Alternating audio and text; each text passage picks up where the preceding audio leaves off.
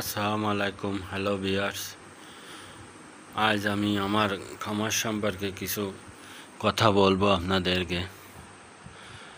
আমার এই ভিডিও যদি আপনাদেরকে ভালো লেগে থাকে, তাহলে প্লিজ সাবস্ক্রাইব করে আমার পাশে থাকবেন ও লাইক ও শেয়ার করবেন। যারা এখনও সাবস্ক্রাইব করেননি, তারা তড়িঘড়ি সাবস্ক্রাইব করে আমার পাশে থাকবেন, তাহলে নিত্য নতুন ভিডিও পাবেন আপনারা। আজ আমি আপনাদেরকে বলতে চাই, যারা খামার করতে চান, তারা অবশ্যই ভিডিওটা দেখবেন। খামারে আপনারা যদি যারা কেউ নতুন খামারি করেন, তাহলে আপনাকে কাঁচা ঘাস করতে হবে। এবং দানাদার খাবার একদম কম করে নিয়ে আসতে হবে এবং জিরোতে নিয়ে আসতে হবে। কেননা দানাদার খাবারের যে পরিমাণ দাম বেড়ে গেছে সেই জন্য আপনাদেরকে দানাদার খাবার একেবারে জিরোতে নিয়ে আসতে হবে। শুধু কাঁচা ঘাস খাইয়ে, ওর খড় খাইয়ে, আপনার সাইলেজ খাওয়াইয়ে আপনাকে গরু পালন করতে হবে। তাহলে আপনি অধিক মুনাফা অর্জন করতে পারবেন। তা না হলে আপনি যদি শুধু দানাদার খাবারের উপর নির্ভর করেন, তাহলে আপনার খামার টিকবে না। সেজন্য আপনাদেরকে বলছি, আপনারা পর্যাপ্ত পরিমাণ কাঁচা ঘাস খাওয়াতে হবে গাভীদেরকে। আমি তা নিজেই করছি। কাঁচা ঘাস আর খড় খাওয়াচ্ছি এবং সাথে সাথে সাইলেসও খাওয়াচ্ছি। অল্প পরিমাণ আমি দানাদার খাবার দিচ্ছি। আমি আস্তে আস্তে একেবার আপনার দানাদার খাবার জিরোতে নিয়ে আসব। যাতে কাঁচা ঘাস খাইয়ে যাতে যে পরিমাণ দানাদার খাবার খাইয়ে দুধ হয় সেই পরিমাণ আমি কাঁচা ঘাস খাইয়ে সেই পরিমাণ দুধ আশা করছি ইনশাল্লাহ। কেননা দানাদার খাবারের যে দাম, সেভাবে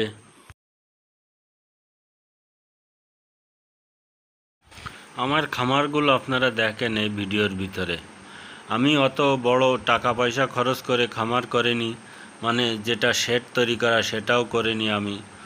দুটো গোয়াল ঘর মানে দুটো ছোট ছোট আমার খামার আছে, তাতে আমি নয়টা গরু লালন পালন করছি, অল্প খরচের ভিতরে। আপনি প্রথম চান্সে দশ বারো, সাত আট লাখ টাকা যদি খামারে খরচ হয় শেড তৈরি করতে, তাহলে আপনি গরু কুড়াই করবেন কি দিয়ে? তার চাইতে আপনি অল্প পরিসরে খামার তৈরি করেন শেড তৈরি করেন, তারপরে আপনি গরু, গাভী লালন পালন করেন। তাহলে যখন আস্তে আস্তে দেখবেন আপনার গাভীতে প্রফিট বা মুনাফা আসছে, তখন আপনি জায়গা বাড়িয়ে নেন বা অন্য উন্নত মানের খামার তৈরি করেন।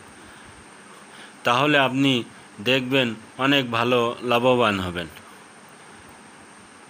কেননা এখন আপনি যদি সব ইনভেস্ট সেটে করে দেন, তাহলে আপনি গাবি কীভাবে ক্রয় করবেন? সেজন্য আপনি এভাবে না করে অল্প পরিসরে আপনি করেন। তাহলে আর গাবি ক্রয় করেন এবং নিজে কাজ কাম করেন, দেখবেন আপনার খামারে উন্নতি হবে ইনশাল্লাহ দেখেন আমি গাভীদেরকে এখন খাবার দিয়ে দিয়েছি, সব গাবিগুলো এখন খাবার খাচ্ছে এবং আমি প্রচুর পরিমাণ কাঁচা ঘাস দিয়ে থাকি। আমি এদেরকে ঘাস, ওর খ্যাড় একসাথে মিক্স করে খাওয়া, খাওয়ানোর চেষ্টা করি খাওয়ায় কেননা ইতি খড়ের গুণাগুণও বেড়ে যায় এবং ঘাসেরও গুণাগুণ অনেক বেড়ে যায়।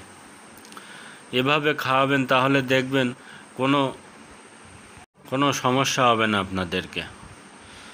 আমার এই গাভীগুলো আপনাদেরকে আমি প্রত্যেক দিন দেখাচ্ছি। দেখেন একটা গাভীকেও কোনো স্বাস্থ্য কম নাই, শারীরিক গঠনও কম নাই। প্রতি বছর বছর কনসেপ্ট করছে, হিটে আসছে কনসেপ্ট করছে, একটি করে বাছুর দিচ্ছে এবং পনেরো ষোলো লিটার করে দুধ দিচ্ছে। আমি অত উন্নত মানের গাভী লালন পালন করি না। আমি ছোট মানে অল্প পরিসরে যেসব অল্প দুধ দেয়, সেইভাবে লালন পালন করি। এতে খরচও কম, আপনার দুধের উৎপাদনও বেশি। দেখেন, এই পনেরো আমাদের এখানে দুধের বিল দেয় পনেরো দিনে। আমি এবার দুধ বিক্রয় করেছি আপনার তেরো হাজার দুইশো পঁয়ষট্টি টাকা এবং তার থেকে আমি সাত হাজার টাকার খাবার নিয়ে এসেছি এবং ছয় হাজার টাকা আমার বেঁচে গেছে পনেরো দিনে। তাহলে আর পনেরো দিন গেলে আমার এভাবে বাঁচবে। তাহলে মাসে আমার বারো হাজার টাকার করে বেঁচে যাচ্ছে। তারপর আমাদের এখানে দুধের দাম অনেক কম। পঁয়ষ- চৌত্রিশ টাকা করে দুধের দাম দিচ্ছে। কিন্তু যদি অন্য অন্য এলাকায় দুধের দাম বেশি থাকে, তাহলে আপনি অধিক মুনাফা অর্জন করতে পারবেন। এটা সম্ভব হয়েছে, আমি নিজেই পরি- পরিশ্রম করি। খামারে আমি নিজে পরিশ্রম করি, আমি করি, আমার আব্বা করে, দুইজনে মিলে আমরা এই খামারটা পরিচালনা করি।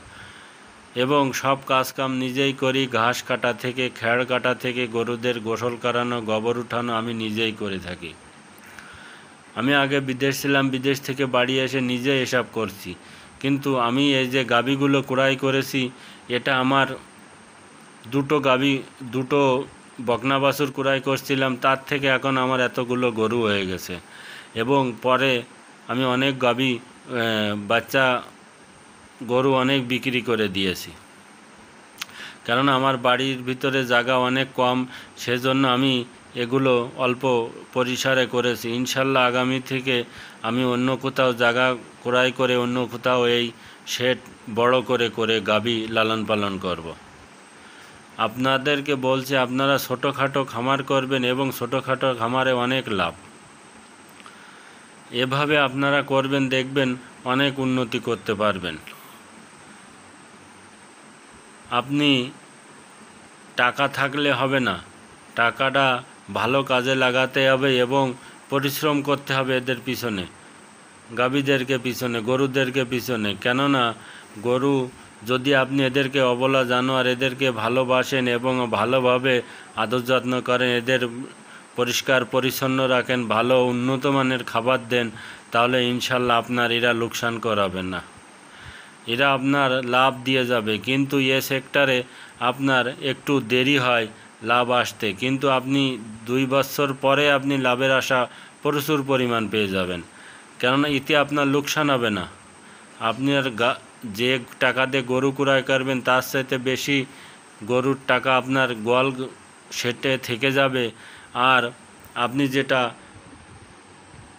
যেটা লাভ পাবেন, দুই বছর পরে আপনি প্রচুর পরিমাণ লাভ পাবেন। সেজন্য আমি বলছি, আপনারা যদি খামার করতে চান, তাহলে এভাবে করবেন, তাহলে দেখবেন আপনার খামারে কোনোভাবে লোকসান হবে না। আমার এই ভিডিও যদি আপনাদেরকে ভালো লেগে থাকে, তাহলে সাবস্ক্রাইব করে আমার পাশে থাকবেন, লাইক আর শেয়ার করবেন। খুদা হাফেজ।